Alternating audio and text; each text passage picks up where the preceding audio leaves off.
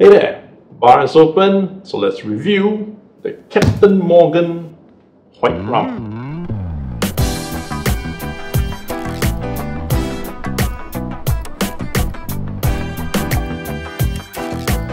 Hey there, SG Alcohol Guy here, giving you honest reviews on the alcohols that I am tasting. And as mentioned, today we'll be reviewing the Captain Morgan White Rum. And depending on where you pick this up, the Captain Morgan White Rum is retailing at around 55 Singapore dollars per bottle. For that, you will get a 700 ml bottle with a beautiful label with 37.5% alcohol content. And if you've watched my earlier video on how to drink rum, you'll know that the first way to drink it is neat. So here goes. To have it neat, I mean, this is actually a tulip glass for whiskey, but I'm just going to use it for rum as well. Just a single shot. Carefully nurse this into the tulip glass. And as for all spirits, the easiest way is to start by swirling the spirit in the glass and then you want to see how long it takes to go back to the liquid and I'm not sure if you can see it from here, I'm using my hand to, to shape it, but it disappeared from the sides almost immediately. This tells me I'm not going to expect any finish from this spirit whatsoever. Also, the second reason for swirling is to nose the spirit. You don't have to put your nose right in, you know, the smell will escape.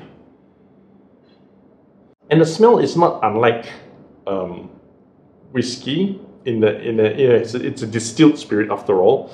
So it does come across as a bit of a paint thinner, the lacquer, lacquer kind of smell. However, I want to say that this is more of a scented nail polish remover. Uh, it's like a sweetened form of nail polish remover. That's what it smells like. Taste test one.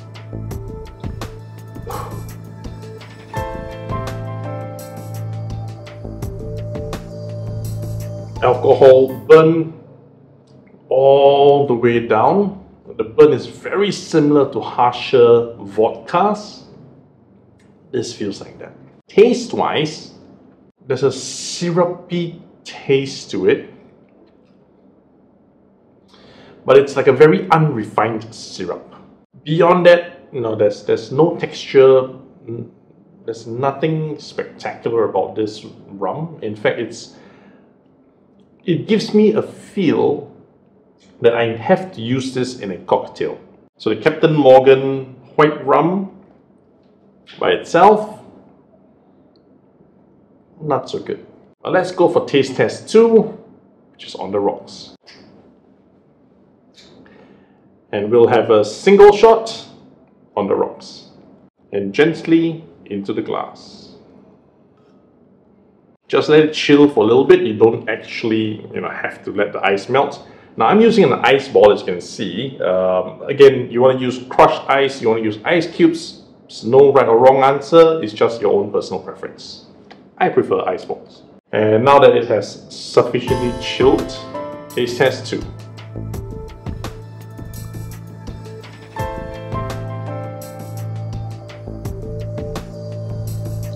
Having it on the rocks, remove the alcohol burn and it's actually more pleasant. It still comes across as an unrefined syrup, but it's more neutral, it's a little bit less harsh, and you can drink it this way. It still tastes like it should be part of a cocktail, don't get me wrong, it's, it's, it, I don't think it's good enough to drink by itself. Um, so my review of this Captain Morgan White Rum is to use it in a cocktail instead of having it by itself. In fact, the bottle itself recommends 30 milliliters of Captain Morgan White Rum with 120 ml of cola and a lime wedge. So even they know, not by itself. Hey there, thanks for watching up to this point. I just want to state that all these reviews are based on my personal taste, preferences and opinions. They're not to be used as an industry standard. I do, however, want to find out what you think about this Captain Morgan White Rum. How do you drink it? Drop me some comments. Let's compare some notes. If you're still here, do help me click on the like button, the subscribe button, and the notification bell because I do try to upload at least one video every week. Plus, if you know of anyone interested in watching such reviews, do help me send them the link to the video as well. And as always,